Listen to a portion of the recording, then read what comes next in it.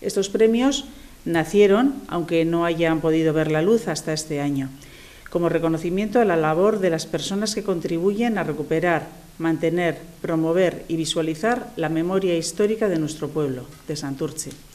Este acto será además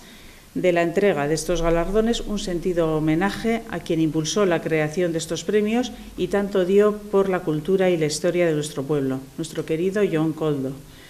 autor del blog Santurci Historian Sear. Le debemos mucho a John Coldo, al legado que nos dejó y poder celebrar estos premios pues va a significar mucho.